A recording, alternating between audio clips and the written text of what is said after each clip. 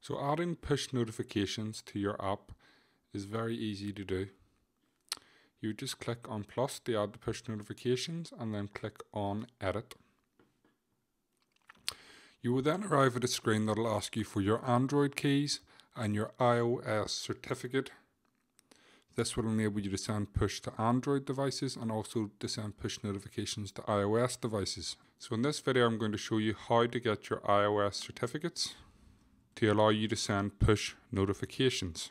Now I hope you have watched our previous video where I showed you how to generate certificates on your P12 for iOS it's something similar but not quite as complicated to get your iOS certificate for push notifications as you've already done most of the groundwork. So the first thing we need to do is we need to get our SSL certificate and that will allow us to get our private key certificate as well. So to do that we need to go across to the Apple Developer Center again and when we're there we just click on certificates. So the first thing we're going to do is we're going to go down to App IDs and just click on it.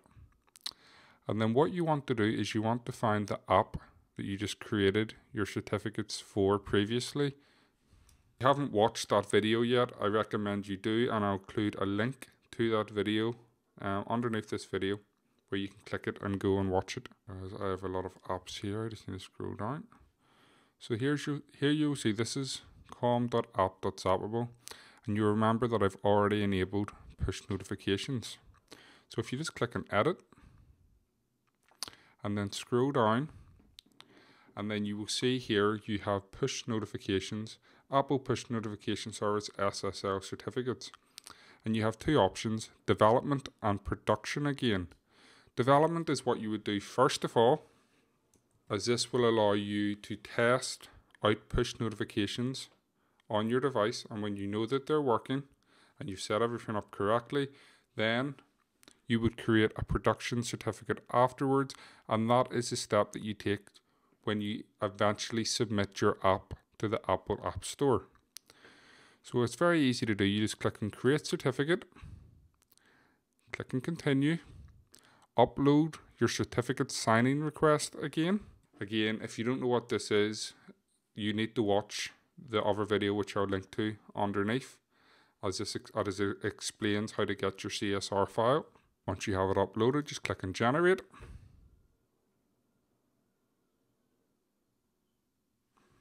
And then you just simply need to download it.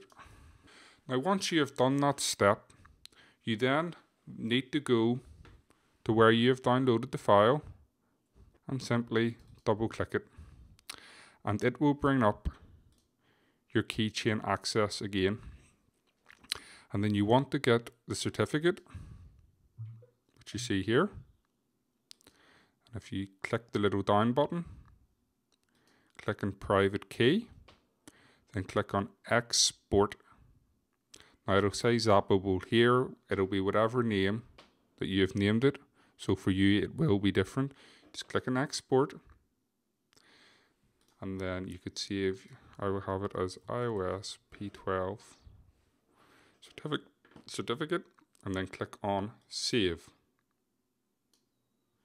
And then again, I need to give a password to use.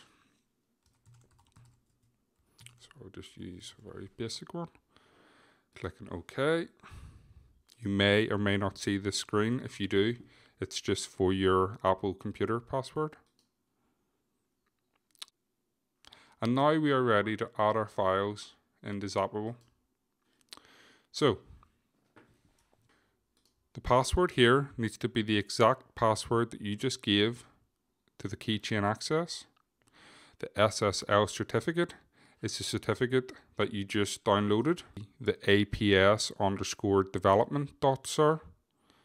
So you just click on choose file. And you just click it.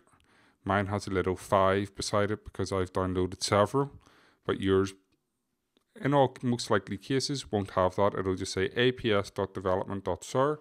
So you just click on open and it will upload. Then your private key certificate. Just choose file and you'll see here the iOS P12 certificate. It's, a different P12 to the one that you used in the previous video. This is the P12 for your push certificate. Again, just click on open.